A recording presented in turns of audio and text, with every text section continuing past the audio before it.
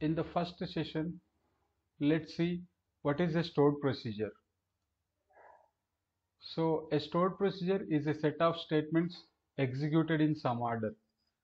These statements can be any of the SQL statements like insert, delete, update, select, whatever it is. Okay. So you may get a doubt. So when we have already all these SQL queries, so why we go for stored procedures again? Okay. So let's see when we write stored procedure. So the first point is when there is a need to run set of SQL statements together. Okay. So in by using SQL queries we can run a single query, right? But if there is a need that I want to run some statements together, some set of statements like one one insert statement, one update statement, one delete statement. I want to run all these statements together. So in that scenario, I can put all those uh, statements in, inside a stored procedure and I can execute that stored procedure. Okay. The second one is dynamically prepare and execute the SQL statements based on the parameters given. So there can be a scenario like where I want to pass the table name or I want to pass the where condition through some parameters at the runtime. So in the normal SQL queries, we cannot do that, right? So we have to give the table name, where conditions, everything is hard coded. But if I want to parameterize those things, if I want to pass those parameter values dynamically at the runtime and execute those SQL statements, I can do that by using a stored procedure. Okay. So the third point is when there is a need to run SQL statements based on some condition suppose I want to insert some data into a table. So whenever some condition is true, okay, or I want to update the data when some condition is false. So you have some idea on if else statements, right? So conditions means those conditions. So we can evaluate those conditions by using if else statements. So in a normal SQL query, it's not possible to evaluate uh, to it's not possible to execute the SQL statements after evaluating those conditions. But in stored procedure we can do. Okay? Fourth point is when there is a need to run one or more SQL statements in loop. Suppose I have uh, some insert statement and I want to run that uh, statement repeatedly. I want to run the statement 10 times or some number of times. So it's not possible by using a normal SQL query right so we have to put that SQL statement inside some loop. It can be a for loop or while loop or simple loop. Okay. So in that scenario, so we need to go for stored procedure. Okay. So in, in all these scenarios, when the required functionality cannot be achievable by using normal SQL queries, so we write stored procedures. Okay. Uh, it's a simple note in most of the databases we can write stored procedure using SQL only. So normal on-premise databases like Oracle or Teradata, MySQL, uh, SQL Server. So we can write the stored procedures using only SQL language. But in Snowflake we have a flexibility of writing procedures using JavaScript, Scala, Java, Python along with the SQL. So we can write stored procedures by using any of this language. Okay? So but the procedures written using SQL is called as Snowflake scripting. That is what I am going to explain in this course Snowflake scripting. So what is mean by Snowflake scripting?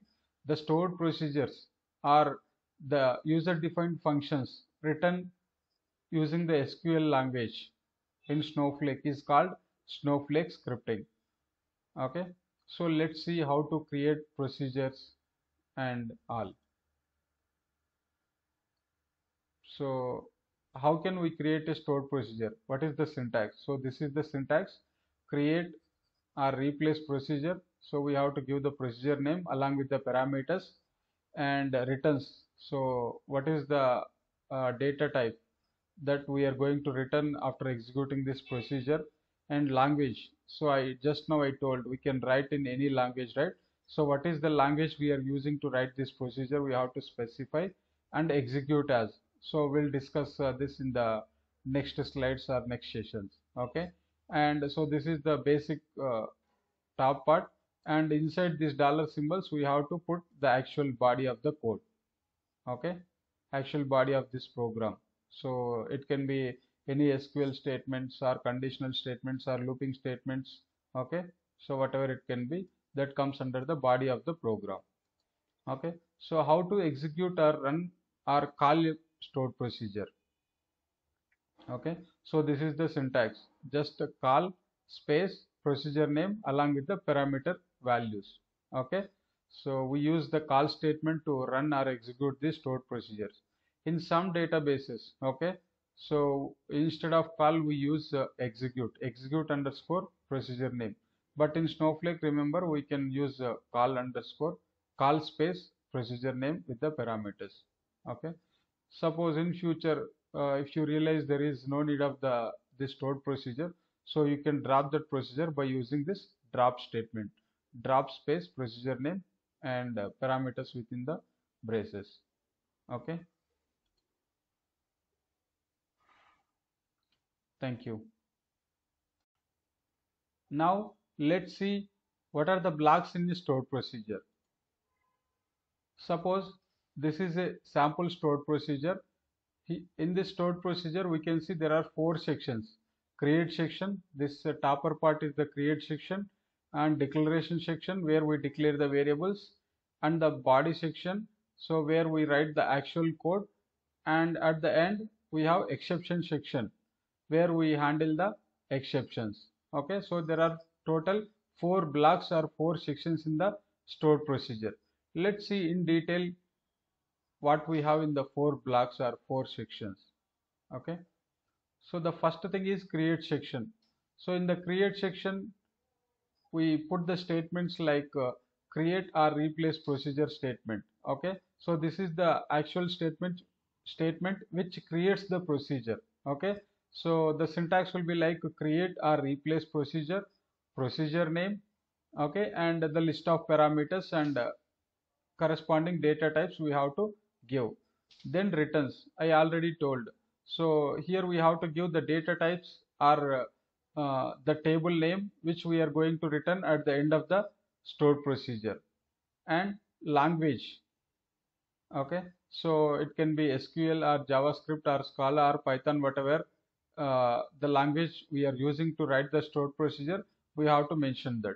Then the comment is not a mandatory um, mandatory parameter here. So if you want to put some description to your stored procedure uh, we can put by using this comments okay? And execute as okay? So there can be two values for this execute as caller or execute as owner. So just try to understand whoever creates this program that user or that batch id will be will be the owner of this program. Or suppose uh, just assume uh, one of your team member has created this this stored procedure and all your team members are using this program. Okay? So the one who has created this program is the owner of this stored procedure and rest all the team members are callers so we are specifying to this program. So you want to execute this program as a caller or as a owner. Okay? Because the permissions will change. Owner have uh, different permissions and uh, maybe caller caller has uh, different permissions. Okay? So by considering all those things we have to choose. Execute as a caller or execute as a owner. So i prefer execute always as a caller. Because you are running this procedure right so run with your permissions. Okay? So the second thing is declaration section. So where we declare all the variables. Okay? So the variables uh, can be of any type. Like uh, they can be numeric type like integer uh, decimal number. Okay? Small int big int whatever it can be. And uh, character type or string type. Okay so we can mention like varchar of length or we can put as string. And we can declare the variables of date and timestamp type okay? And even we have to declare the cursors in the declaration section itself. So what if you if you don't have idea what is a cursor so i will discuss in detail what is a cursor with the examples in the later sections okay? And even we can uh, declare the result sets. So even I will explain the result set with examples in the later sessions. Even the exception handling I will explain in the later sessions okay? So these are all the different uh, variables or uh, cursors results result set or exceptions we can declare in the declaration section. So in detail we'll discuss about all these things in the uh, next slides or next sessions with the proper examples okay so the third section is body section. Okay? So in this body section block only we write actual code. So it can contain uh, sql statements. It can contain simple arithmetic operations uh, string operations.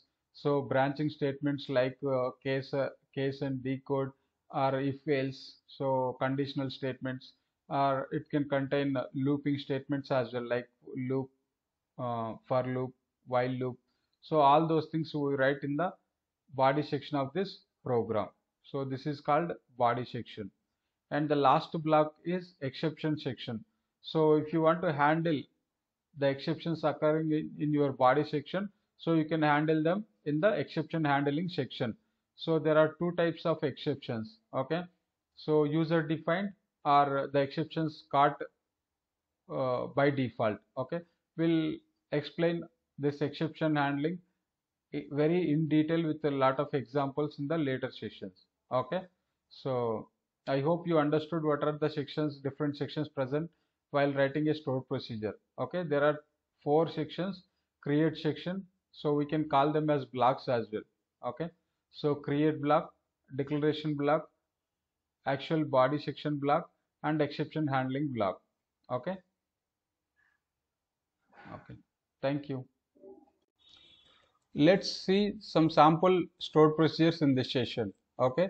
So before that i want to create one database required schemas uh, some tables and uh, i'm inserting some data into those tables for our practice okay? So you can just uh, take this file. This is available in the resources page. You can take uh, entire this one copy to snowflake uh, Snowsight okay so paste it here and create all the required schemas, databases, schemas, tables and insert some sample data. Okay, so this will be useful for our practice in the entire course. Okay, so I have created all the required uh, tables and inserted data. Okay, so now let's uh, take these programs, sample programs, sample procedures from here and copy it to Snowsight. Okay, now so if you haven't created this uh, database and schemas yet so i'm creating here create database if not exist emp and i'm creating two schemas hr data where uh, i have created all the tables and inserted the data and this proc schema is for uh, creating all our stored procedures. We can create in this uh, schema itself just for um, uh, just to make sure all our procedures we are creating will be in the schema procs. So i am creating this schema. Okay. So this has been completed. And let's take one sample procedure. Okay. I'm creating a procedure. Create or replace procedure. Employee.procs i am creating this procedure in the procs schema of employee database. And my procedure name is this one. And i'm just using uh, only one parameter uh, the parameter name is n of varchar type okay? And uh, this program will return a varchar okay? I'm using sql language and comment. This is just a sample program so comment is not mandatory it, it, it is optional. And i'm executing this as a caller okay? So i will here in this case i am the owner and i will be the caller.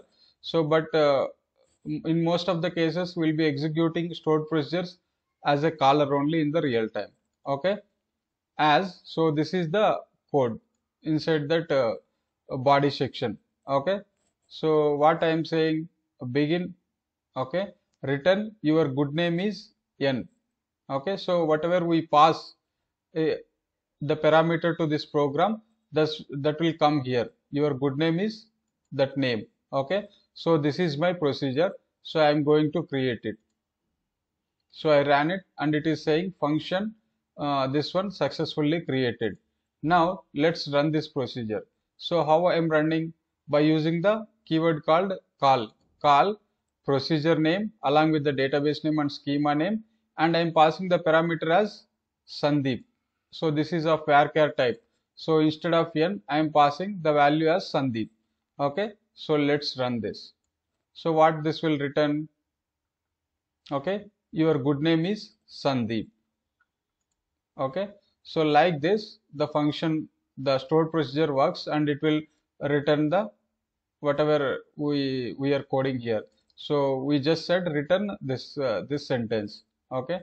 So it has given the same output. Your good name is Sandeep.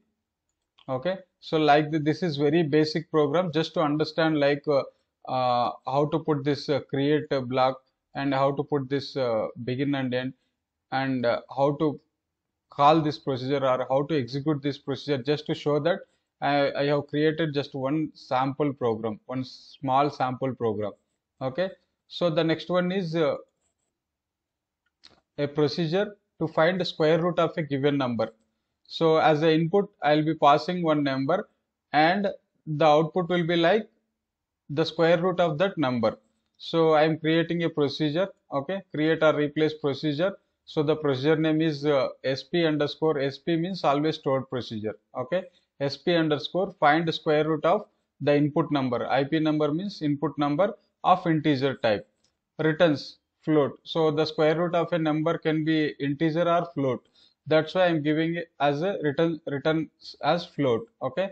Uh, the language is sql and uh, putting some comment and executing as a caller and I am declaring a variable here. If you see, okay, so I am declaring a variable called square root of float type and I am going to return this float variable at the end.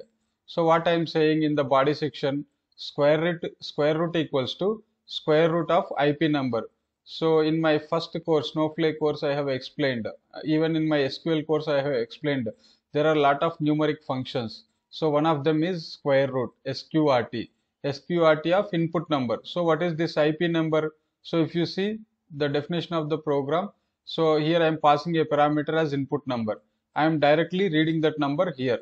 So this number will come here and uh, so it will the square root function will calculate the square root of the given number and assign the results to the square root variable we have declared in the declaration section and I am returning the same return square root this one okay so let's uh, create this uh, stored procedure.